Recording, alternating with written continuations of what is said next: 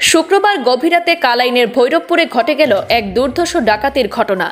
নগদ এক লক্ষ পঞ্চান্ন হাজার টাকা সহ সোনা গয়না সর্বস্ব লুটেনের ডাকাত দল। প্রতিবেশীরা ডাকাত দলের পথ আগলানোর চেষ্টা করলে শূন্যে তিন রাউন্ড গুলি ছুড়ে ডাকাত দল। পরে ভয়ভীতি দেখিয়ে পালিয়ে যেতে সক্ষম হয় ডাকাতরা।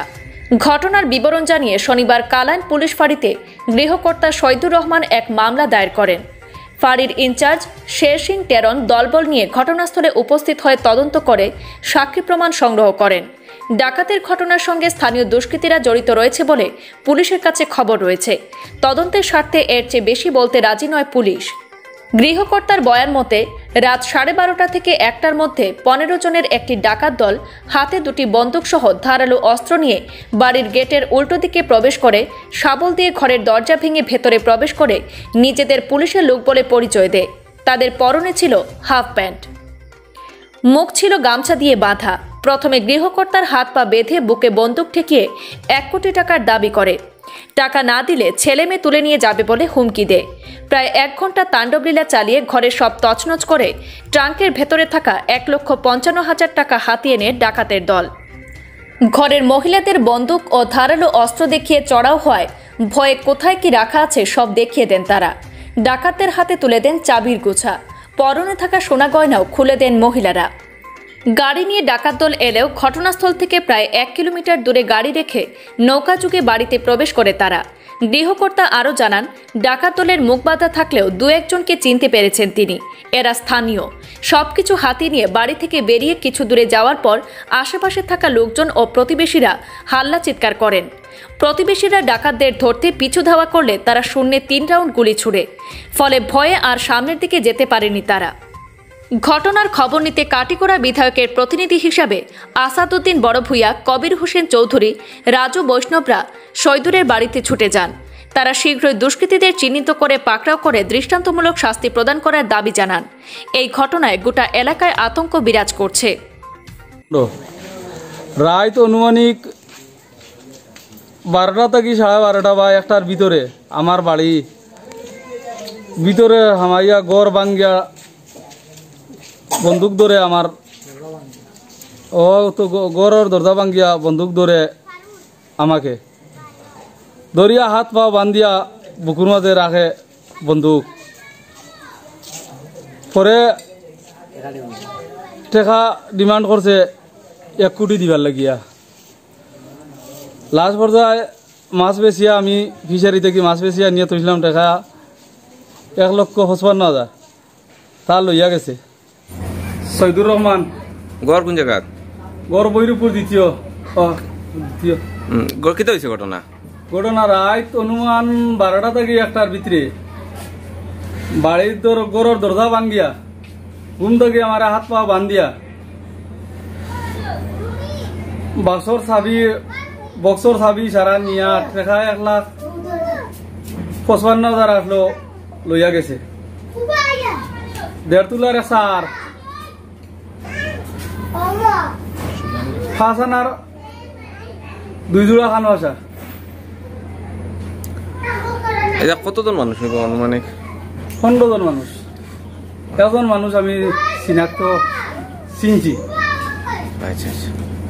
আপনি মাইট দূর করছেন আপনারা? মায়ের দূর হইন বুকুরু ফিটির উপরে বান্ধিয়া তারা আমারে বুকুর উপরে উঠিয়া বইয়া হাত পা বান্ধিছেন। বান্ধিয়া গালো এক চর দিছেন। আর বন্দুক আমার নাল দরিয়া বহুত পর বন্দুক তার লগে কয়টা আসলো? বন্দুক দুইটা। আমি তো দরজার আওয়াজ পাইছি রাত করে দরজা একটা ডাক দিছে। দরজার শব্দ পাইয়া আমি উঠি আইছি উঠনা তাকে।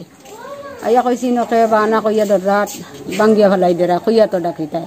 ওই সময় তারা সাত আট মানুষ আমাইছেন গরব গিয়া মাইয়া কইছেন আমরা পুলিশ পুলিশ কইতেও আমি ওরিয়া গিয়া চকির কিনার লই লিছি ওই সময় তারা আরও চারটা গেছেন বাইদি আমার জামাইয়ের দ্বারো গিয়া জামাই আনছেন দরিয়া দ্বারো আনিয়া হাড়ে দিয়া আট বান্ধিছেন বান্ধিয়া করে দিনিয়া বান্ধিছেন আরে খারা।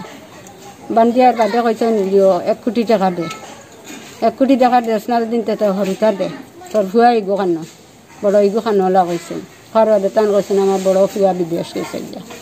আর এক কোটি টাকা আমি খান্তাই দিতাম আড়াই লাখ টাকা সুদ করিয়া নিয়া বর্তমানে খাইয়া যাইয়ার বা মানুষের ঋণ চিন মারিয়া আর আমি এক কোটি পাইতাম কানরে বা আর এর ও এর বাদে আমার তালা টুলা শুরু করছেন বাঙ্গা তারা আমার টালা মেশিন ভাঙছেন না আমি কইছি আমার টালা ভাঙিয়া না আমি চাবি দিয়া তোমরা খুলিয়া নেও যেটা ভাড়া ও আমি চাবি দি খুলিয়া দিছি আমার এটা নিছেন সোনা গয়না এটা ও খানোর দুই দুরা দুইটা সোনার আঙ্গুর নাকর দুইটা ফুল আর আমার ও হতিনের নিচে সরা তুলার হার সরা আসা আর কি শুনলাম আমরা কি গুলাগুলি হয়েছে এটা কীরকম হয়েছে ও গুল্লা গুল্লি হয়েছে তো বারোইয়া যাইছে সময় তারা তিন দেওয়ান ও বারোইয়া আমরা কইছে তো ইনো তোমরা এখন মারতিও না এক ঘণ্টা মারতিও না তোমরা। আমরা বারোইয়া যাই গিয়ে এর বাদে তোমরা সিলাইবা আমরা আমদালির বাড়ি ডাকাতে করতাম। বাড়ি করতাম তোমরা মারতিও না। আমদালির বাড়ি ডাকাতে করতাম আল্লাহ কইছেন। পার বাদে তো আর আমরা ডরাইয়া মারতেছি না। এই সময় আমার জামাইরা আতাবো বান্দা। পরে তারা বারোইয়া গেছেন কি যে সময় বাড়ির বাড়া। ও কইছে, আট আট টান খুলিয়া দিছি, দিয়ালে টাইম ফিজন দিকে বারোইছেন বারোইয়া ও নগেছেন যাও টাইম সিপ দিছেন সিপ দিতেও তারা তিন রাউন্ড গুলিয়ে করছে। হুক্কা আওয়াজ করছে। আর এই বলি জানবাও মানুষ এটা এটা তো আর তারা হুক্কা আওয়াজ দিয়ে তারা রাইকা খাই না। ও তারা রিচা মতো লইয়া গেছেন। আমি না বেগম কি হয়েছে ঘটনা পঞ্চায়েত তারা রাত গরম আমাইছে ডাকাই টামাই আমার জামাইরে বান্ধিয়া আমরা ঘরের সোনা গয়না যেটা আসবে সব টাকা পয়সা লুটপাট করিয়া নিছ তারার ভাত ধরিয়া কান্দিছি তো আমরা জিনিসও দিছেন না জামাইরে মারছেন আমরা মত করছেন তার লগে কিতা আসলো তারার লগে বন্দুক এটা রাত কয়টা ঘটনা একটা সময় এটা কতজন মানুষের পাইছেন তারা পনেরো জন বাড়ি গেছিলাম না আজকে গুমরা গুমরা থেকে আবার পরে হঠাৎ সেও আসিল আমার কিনারও। এমএলএ ফোন মারছেন মারিয়া আমারে কইলে আসল ভাই ওরকম ওরকম ঘটনা বৈরূপপুর জানো নি? না জানি না। ও তাই না আমারে কইলে আতে একটু কাইন্ডলি আপনি জানি না আমি তোরা বাইরে শিলচর তে ব্যস্ততার মধ্যে এখন আইতে পারতাম না তারারে একটা সমবেদনা জানাইবা আমি আমার তরফ থাকি তারা নেক্সট তাই নাইবা আর এমএলএ ও, আমি নিয়ে আইলাম। তাইলে এই ধরনের ঘটনা তো আমরা এলাকাত আমার হুশ হয়েছে মান আমি দেখছি না এইরকম ডাকাতি বা কোনো বন্দুক সন্দুক লইয়া ইয়া নিজেও মর্মাহত ইটা শুনিয়া বা নিজেরও একটা আতঙ্ক ফিলিং করে যে এই ধরনের ফ্লাডর মৌসুম। যদি মানুষ বাইরে হইতো না, হয়তো অন্য আরও দুর্ঘটনা ঘটলো নে বা অন্য কোনো বাড়িতে ডাকাতি করার তারা প্ল্যান আছিল। এখন শুনি আর এরার মাত্রা কি? অন্য একটা বাড়িত করার লাগি। তারা উদ্যোগ নিছিল। যদিও এরিয়ার মানুষ আবার, তারা এই স্টেপটা কি মানে দূরে সরিয়া করে গেছে গিয়ে। আর আইয়া শুনি আর যে তারা দুই, তিনটা গুলিও করছে। বা তারা জানোর বয়ে যদি মান সম্মান বয়ে যদি টাকা পয়সা দিত না, তাহলে তো হয়তো দুর্ঘটনা ঘটলো নি। তারা টাকা পয়সা বা সোনা গয়না দেওয়াই গিয়া তারা প্রাণ রক্ষা হয়েছে বা তারাও এটা গিয়া বিপদ মুক্ত হয়েছে এটা আমি প্রশাসন মাতানোর মাধ্যমে প্রশাসনের কাছে জোরালো দাবি জানাইয়া যাতে ভবিষ্যতে এই ধরনের ঘটনা না ঘটে বা ইটার তদন্ত জোরালোভাবে তদন্ত করিয়া দোষী ব্যক্তি নিশ্চয় আশপাশের এক দুইজন তাক থাকবা এরারে শনাক্ত করিয়া যাতে আর উপযুক্ত ব্যবস্থা নেওয়া হয়। যাতে অন্য দিন আর এইরকম ঘটনা না ঘটে। ওটার পরি- পরিপ্রেক্ষিতে মানে তাই তাই জোরালোভাবে একটা ইনিশিয়েটিভ নিয়া নিশ্চয় এরিয়ার মানুষ এখানোর ইনভলভ আছে।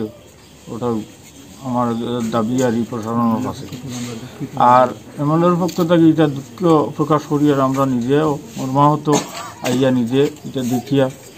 আর তাই নাইবা নেক্সট ডে দুই একদিনের মধ্যে তাই নাইবা এখন ব্যস্ততার টাইম অন্যদিকে যাওয়ার কারণে আইতে পারছি না। কালাইন ও কাটিগড়া থেকে আব্দুল সুফান লস্কর ও রফিক আহমদ মজুমদারের প্রতিবেদন তরঙ্গ টিভি।